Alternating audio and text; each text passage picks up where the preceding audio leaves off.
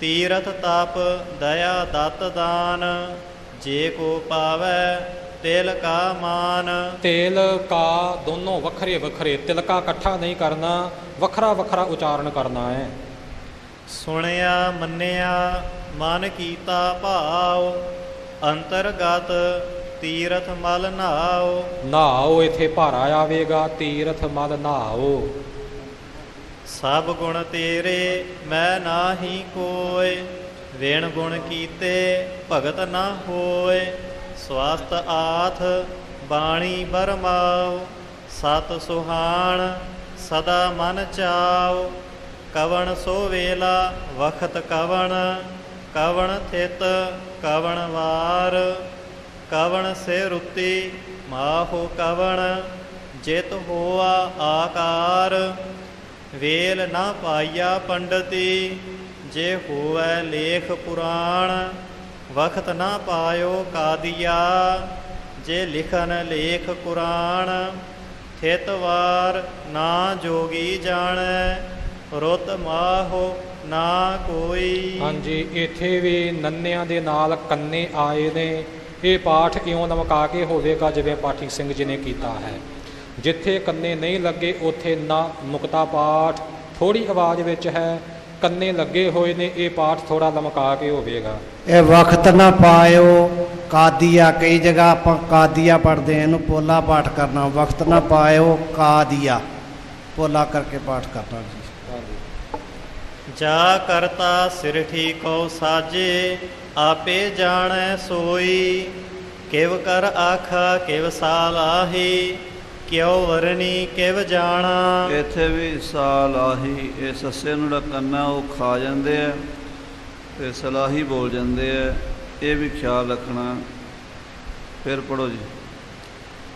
ਕਿਵ ਕਰ ਆਖਾ ਕਿਵ ਸਾਲਾਹੀ ਕਿਉ ਵਰਣੀ ਕਿਵ ਜਾਣਾ? ਨਾਨਕ ਆਖਣ ਸਭ ਕੋ ਆਖੈ। ਨਾਨਕ ਆਖਣ ਸਭ ਕੋ ਆਖੈ। ਨਾਨਕ ਆਖਣ ਸਭ ਕੋ ਆਖੈ, ਇਕ ਦੂ ਇਕ ਸਿਆਣਾ। ਵੱਡਾ ਸਾਹਿਬ ਵੱਡੀ ਨਾਈ, ਕੀਤਾ ਜਾ ਕਾ ਹੋਵੈ। ਨਾਨਕ ਜੇ ਕੋ ਆਪਉ ਜਾਣੈ, ਅੱਗੇ ਗਿਆ ਨਾ ਸੋ ਹੈ ਪਾਤਾਲਾ ਪਾਤਾਲ ਲਖ, ਆਗਾਸਾ ਆਗਾਸ ਓੜਕ ਓੜਕ ਭਾਲ ਥੱਕੇ, ਵੇਦ ਕਹਿਨ ਇਕ ਬਾਤ ਸਹਸ 18 ਕਹਿਨ ਕਤੇਬਾ, ਅਸਲੂ ਇਕ ਧਾਤ। ਲੇਖਾ ਹੋਏ ਤਾ ਲਿਖੀਐ, ਲੇਖੈ ਹੋਏ ਵਿਨਾਸ਼। ਨਾਨਕ ਵੱਡਾ ਆਖੀਐ, ਆਪੇ ਜਾਣੈ ਆਪ। ਸਾਲਾਹੀ ਸਾਲਾਹੇ ਏਤੀ ਸੁਰਤ ਨਾ ਪਾਈਆ ਨਦੀਆ ਅਤੈ ਵਾਹ। ਅਤੈ ਇਥੇ ਅਤੈ ਨਹੀਂ ਬੋਲਣਾ ਅਤੈ ਪਾਠ ਪੋਲਾ ਹੀ ਹੋਵੇਗਾ। ਨਦੀਆ ਅਤੈ ਵਾਹ ਪਵਹਿ ਸਮੁੰਦ ਨਾ ਜਾਣੀਐ ਸਮੁੰਦ ਸਾਹ ਸੁਲਤਾਨ। ਗਿਰਹਾ ਸੇਤੀ ਮਾਲ ਧਨ ਕੀੜੀ ਤੁਲ ਨਾ ਹੋਵਨੀ ਜੇ ਤਿਸ ਮਨਹੁ ਨਾ ਵੀਸਰਹਿ ਅੰਤ ਨਾ ਸਿਫਤੀ ਕਹਿਣ ਨਾ ਅੰਤ ਅੰਤ ਨਾ ਕਰਣੈ ਦੇਣ ਨਾ ਅੰਤ ਅੰਤ ਨਾ ਵੇਖਣ ਸੁਣਨ ਨਾ ਅੰਤ ਅੰਤ ਨਾ ਜਪ। ਜ਼ਿਆਦਾ ਸੁਣਨ ਇੱਕ ਨੰਨਾ ਲਾ ਜਾਂਦੇ ਆ ਪਹਿਲਾਂ ਜਾਂ ਜਾਂ ਲਾ ਸੁਣਨ ਨੂੰ ਜਾਂ ਸੁਣਨ ਇਦਾਂ ਬੋਲ ਜਾਂਦੇ ਆ ਪਰ ਤੁਸੀਂ ਦੇਖੋ ਦੋਵੇਂ ਨਾਣੇ ਆ ਅੰਤ ਨਾ ਵੇਖਣ ਸੁਣਨ ਨਾ ਅੰਤ। ਇਹਨੂੰ ਸੁਣਨ ਨਹੀਂ ਬੋਲਣਾ ਜਾਂ ਸੁਣਨ ਵੀ ਨਹੀਂ ਬੋਲਣਾ। ਇੱਕ ਨੰਨਾ ਲਾ ਜਾਂਦੇ ਆ, ਭਾਵੇਂ ਪਹਿਲੇ ਲਾਣ, ਭਾਵੇਂ ਬਾਅਦ 'ਚ, ਪਰ ਉਹ ਗਲਤ ਹੈ। ਦੋਵੇਂ ਹੀ ਨਾਣੇ ਹਨ। ਇਹ ਨੋਟ ਕਰੋ। ਦੋਏ ਵਾਰੀ ਸੁਣਨ, ਹਾਂਜੀ। ਚਲੋ ਜੀ। ਅੰਤ ਨਾ ਜਾਪੈ, ਕਿਆ ਮਨ ਮੰਤ। ਅੰਤ ਨਾ ਜਾਪੈ, ਕੀਤਾ ਆਕਾਰ। ਅੰਤ ਨਾ ਜਾਪੈ। ਇਹਨੂੰ ਆਕਾਰ ਹੀ ਬੋਲ ਜਾਂਦੇ ਆ ਬਹੁਤੇ। ਆਕਾਰ ਹੈ ਦੋਵੇਂ ਆਕਾਰ ਦੋ ਕੰਨੇ ਲੱਗੇ ਹੋਏ ਨੇ ਇੱਕ ਖਾ ਜਾਂਦੇ ਆ। ਇਹ ਖਿਆਲ ਰੱਖਣਾ।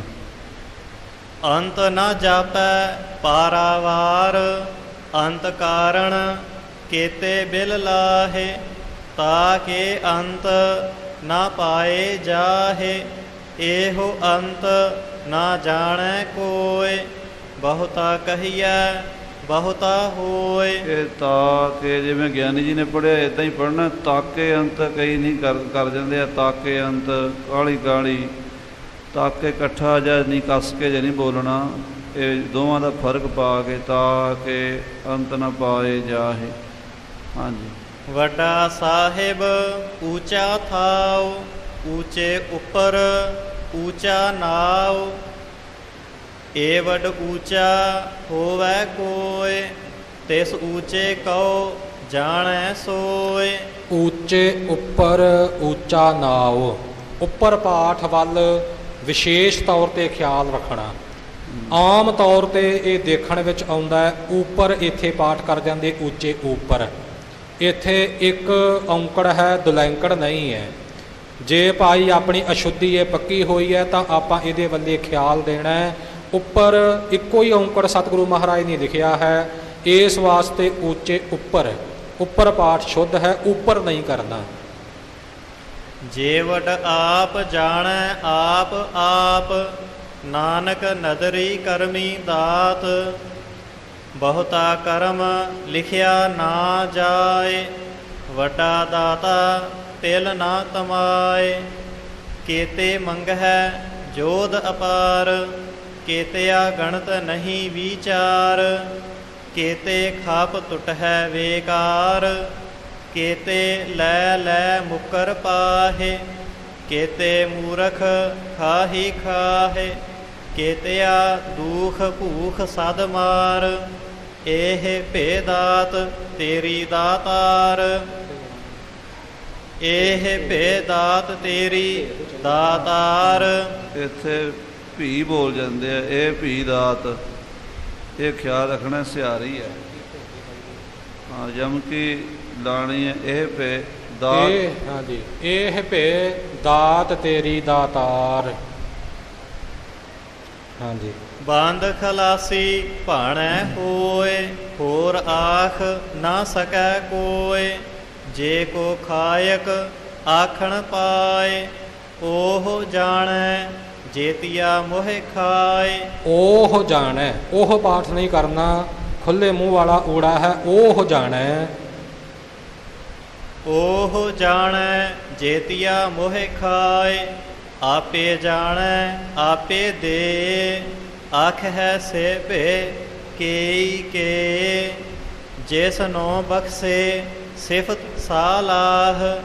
ਨਾਨਕ ਪਾਤ ਸਾਹੀ ਪਾਤ ਸਾਹੋ। ਫਿਰ ਬੇਨਤੀ ਕਰ ਦੇਵਾਂ, ਜੋ ਪਾਠੀ ਸਿੰਘ ਜੀ ਨੇ ਪਾਠ ਕੀਤਾ ਹੈ, ਪਾ ਤੇ ਸਾਹੀ ਪਾ ਤੇ ਸਾਹੋ ਬਿਲਕੁਲ ਇਸੇ ਤਰ੍ਹਾਂ ਹੀ ਪਾਠ ਕਰਨਾ ਇਹ ਸ਼ੁੱਧ ਹੈ। ਜੇ ਆਪਾਂ ਕਰ ਦਈਏ ਪਾਤਸ਼ਾਹੀ ਪਾਤਸ਼ਾਹੋ ਸਸੇ ਪੈਰ ਬਿੰਦੀ ਲੱਗ ਜਾਂਦੀ ਹੈ।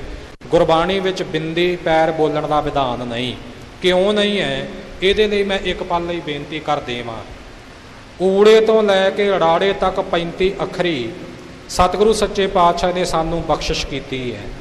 ਇਹਨਾਂ ਵਿੱਚ ਬਿੰਦੀ ਵਾਲਾ ਅੱਖਰ ਕੋਈ ਨਹੀਂ। ਜੋ ਸਾਡੀ ਪੰਜਾਬੀ ਭਾਸ਼ਾ ਵਿੱਚ ਬਿੰਦੀ ਵਾਲੇ ਅੱਖਰ ਆਏ ਨੇ, ਇਹ ਦੂਸਰੀਆਂ ਭਾਸ਼ਾਵਾਂ ਵਿੱਚੋਂ ਆਏ ਨੇ। ਸੱਸੇ ਪੈਰ ਬਿੰਦੀ, ਖੱਖੇ ਪੈਰ, ਜੱਜੇ ਪੈਰ, ਫੱਫੇ ਪੈਰ, ਇਉਂ ਲਲੇ ਪੈਰ ਵੀ ਬੋਲੀ ਜਾਂਦੀ ਹੈ।